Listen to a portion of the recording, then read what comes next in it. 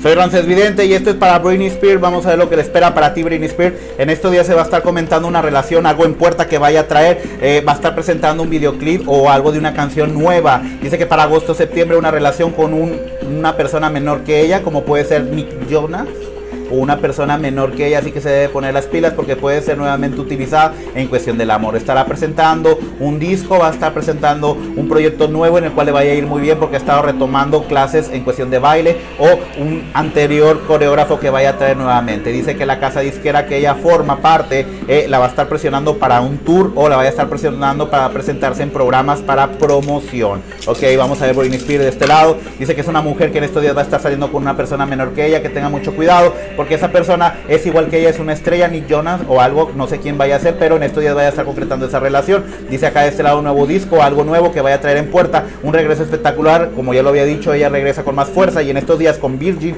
o junto con su casa disquera vayan a presentar el nuevo disco. Yo soy Rances Vidente y este es el, creador de tu futuro. Y dale like o compartir.